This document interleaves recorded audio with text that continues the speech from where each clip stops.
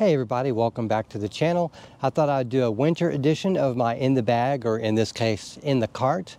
As you can tell, I have my trusty old ZUCA cart, completely outfitted, very similar to what it was in the previous uh, in the cart videos, but I've changed up the putter pouch um, uh, this time. I'm using the original ZUCA putter pouch uh, because uh, it is lighter and uh, issue I've had with this compact cart is the infinite uh, power pocket uh, is just, once it's filled up, it's got too much weight up here, and this is not particularly bottom heavy. Um, so it's fallen back a few times and I just decided I've had enough of that personally. Not that I wouldn't use the infinite power pocket on a larger cart, uh, but for this cart in particular, I've opted to go for a smaller and lighter uh, putter pocket uh, from ZUCA uh, with the acceptance that it's going to hold only uh, two uh, putters. And I'll show you more about that in just a minute. But uh, I carry a smaller loadout because of this, so I have to move most of my approach discs towards this pocket here and in the main compartment, and then mid-ranges and then fairway drivers, and then I've got three distance drivers here. So with that said, let's go ahead and uh, start out with my putters.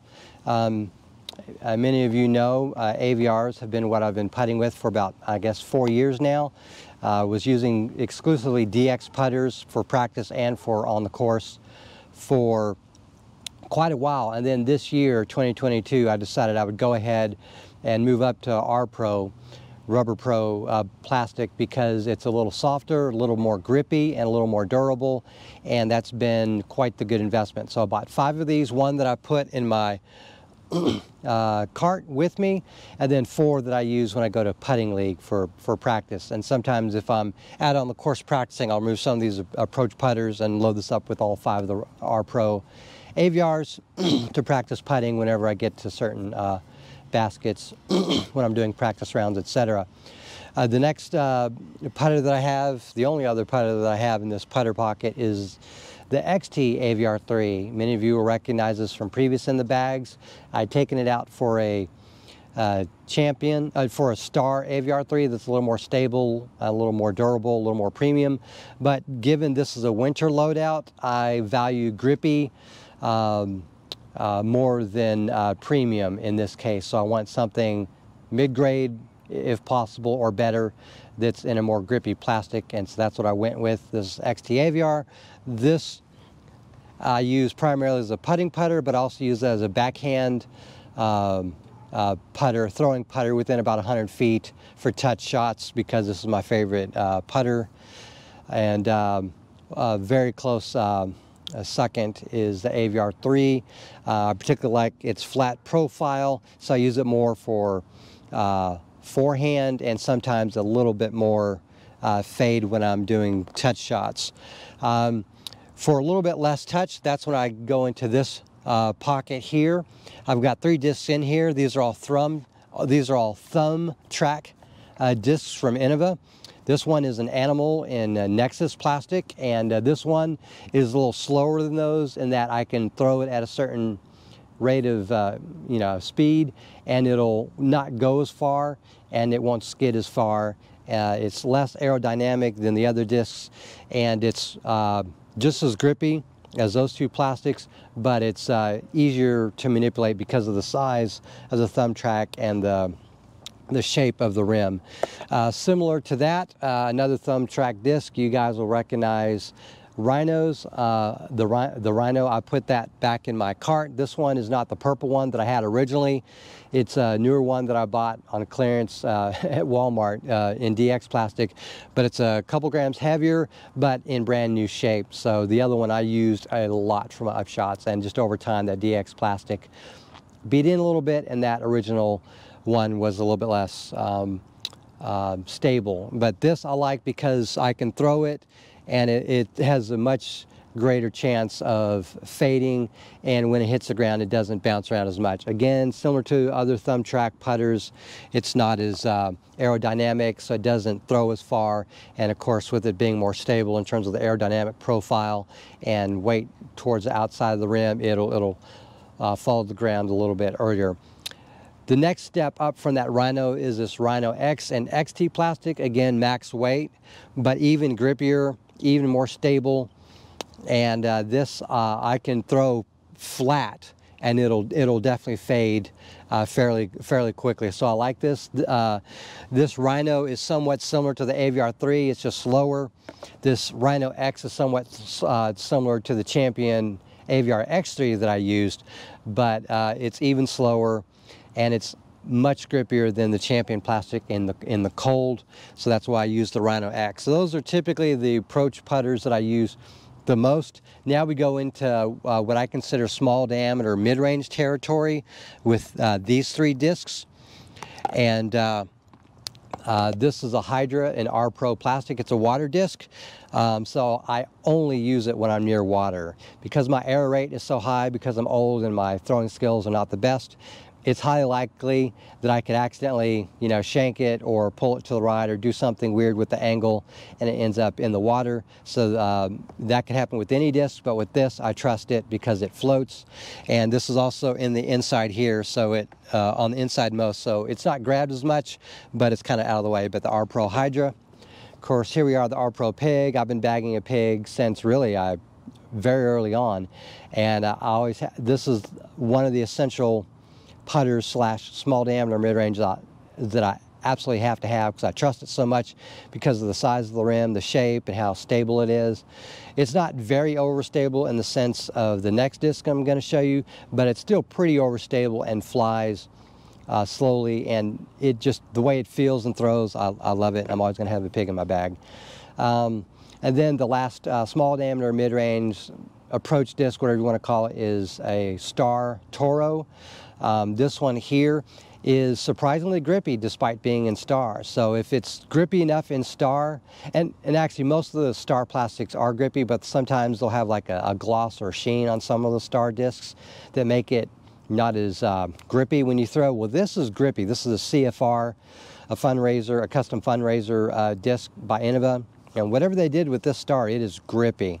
But also this is a great overstable disc. It's more stable than this Pig despite not having as big a rim, but it's a little faster technically um, if you were to compare the two uh, in terms of like the aerodynamics, but it is more stable. And this I absolutely trust to throw it flat and there's no way I can accidentally turn this disc. I, I have to really do something wrong to actually turn it. So this is a very trusty disc and I'm glad I've had the Toro. Next up are the mid-ranges. I'm down to four mid-ranges now. I had five and six mid-ranges at one point, but I decided to narrow it down because I'm just not throwing the mid-ranges as much as, as I, I, used to because I'm relying on the small diameter mid-ranges or the approach discs for most of my approaches and I'm stepping up to a fairway driver when I want bigger distance. So I've used these less often. However, uh, I've got the Star Mako 3. Again, this is a grippy uh, Star plastic, so I've kept it. I haven't sought out the XT versions of the Mako 3 that are out there because that one does just fine. Uh, I've mostly eliminated champion versions of discs that I have and replaced them with grippier versions like Star, G-Star, R-Pro, etc. Here's the MD3 or the mid disc 3 with the Metal Warrior stamp. This is the same um, uh, mold as the uh, Discmania MD3, the, the original Discmania MD3 that was out there, but this is the Innova produced version.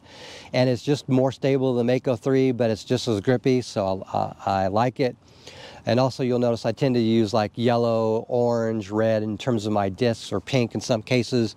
Well, typically the yellow ones are, are stable or understable, the orange are stable to overstable, and the red tends to be uh, very overstable. Well, next up is this Rock X3. So I jumped, you know, uh, from an MD3, skipping like the Shark 3 and the Rock 3 to the RocX3. This is also star plastic and it's very grippy. And it's a little bit less stable than the Champion X3 that I have, but a little bit more stable than the Champion uh, Roc3 that I have. So that's what I use this.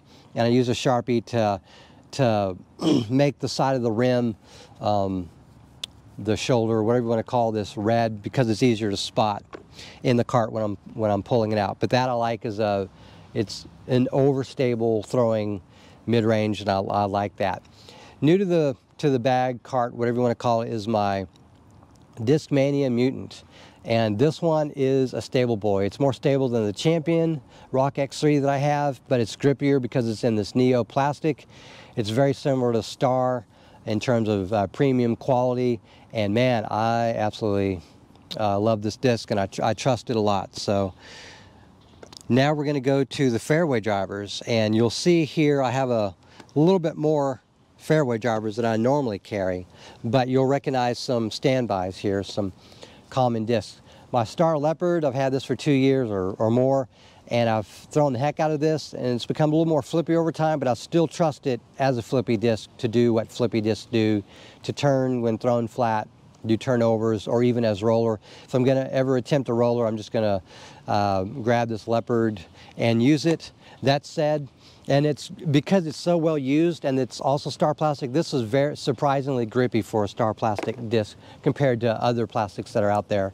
This is a brand new disc. Many of you will know that I'm now uh, bagging. It's a Star It. Uh, this, it's just a little bit more stable than uh, that Leopard and it, it slots where my old Leopard 3 used to slot. Uh, it's just more stable, it goes a little farther, and I can trust it a little bit more than Leopard when I want uh, max distance for me, upwards of 300 feet. And then many of you will remember my ace disc, the red S-Line FD uh, from Discmania that I uh, bought in 2020 and used almost as much as my Star Leopard. Well, I finally retired it. I've hit enough trees with it and I've, I've nearly lost it a couple times and Sean's had to retrieve it once or twice. So um, I finally took it out of my bag. It, even though that's grippy and I trust it so much, I had to replace it, so now I've got this G-Star Hawkeye. This is even grippier than that well-used S-Line or Star plastic, um, but it flies just the same and has about the same flight profile as that FD. So I'm using the heck out of this uh, G-Star Hawkeye. It's almost my primary throwing disc if I'm going to throw by default, with the exception of that Leopard or the IT based on circumstances. I tend to throw understable to stable primarily, typically what I throw by default is stable, sometimes understable, or I'll move up to overstable uh, to very overstable. And so the very overstable discs are almost never used or rarely used. And so, but one bump up from the Hawkeye or the old S-Line FD is my Star TL. Again, this is grippy, uh, modestly grippy Star plastic. It's somewhat well used, but it's just a, a touch more stable than this G-Star Hawkeye, so I'm still using this uh, a lot, and I trust that when I want just, if I'm throwing into the wind or if I just want to further guarantee that I'm not going to accidentally turn due to improper form or whatever, accidental angle, uh, you know, misrelease.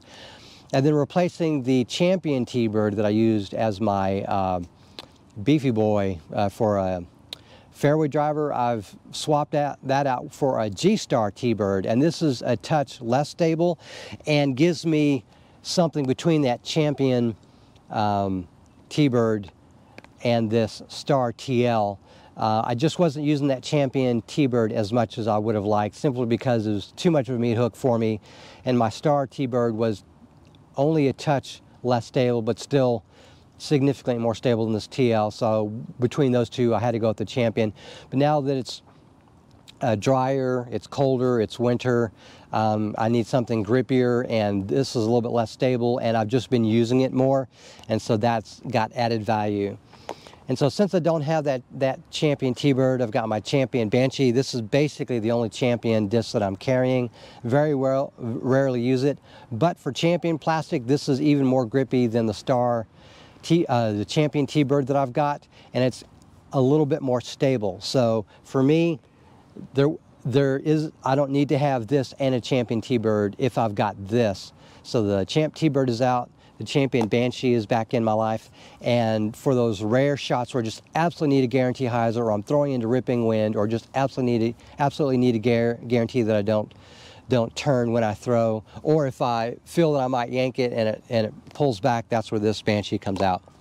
And then uh, last but not least in my uh, fairway dr uh, driver category, I've got the Innova Dragon. This is in DX plastic. It's pretty grippy. It's relatively heavy for Dragon. It's like 160 something uh, grams, maybe 160 uh, or more.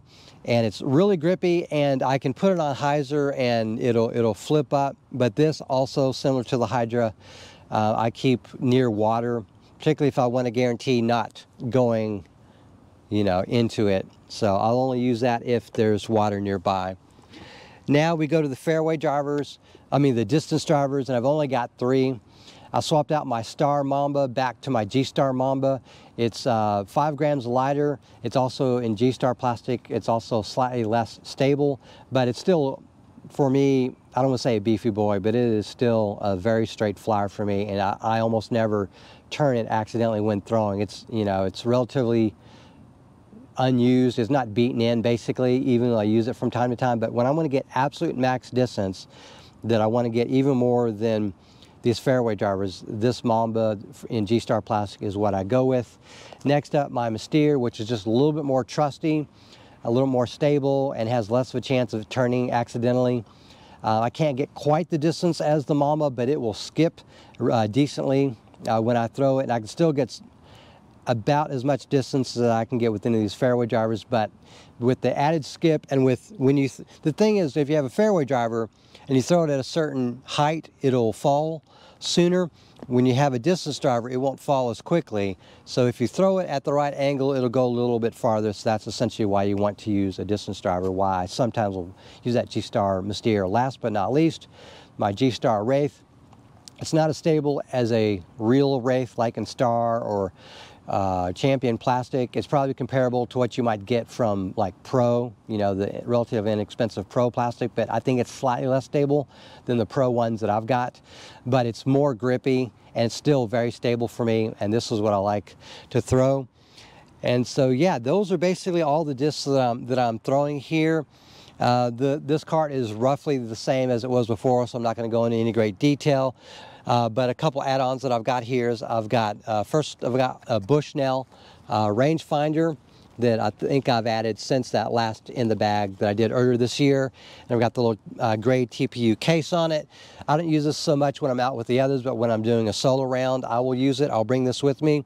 Also, if I'm doing a solo scored round, I'll bring this Bushnell uh, Bluetooth speaker uh, with me and I'll sync it with my with my smartphone, which I keep here in this putting uh, putter pouch. And uh, so that's how I'll do scored rounds with myself. So, and then of course I've got the umbrella holder in addition to the putter pouch. I've got my, my rag here, then all the various YouTube necessities that I need down here and even tools to tighten things up for the cart. And then of course my, my uh, GoPro and the Rode wireless mic, etc. So anyways, that's going to do it. I, I hope you uh, like this um, uh, new, improved in the cart for winter 2022 and 2023. When things heat up again in a few months, I will upgrade back to the Star and Champion models and switch things around. And who knows, I'll probably upgrade a few things along the way. Uh, please subscribe if you haven't already as I have more unique disc golf videos on the way. Thank you very much for watching and have a great day.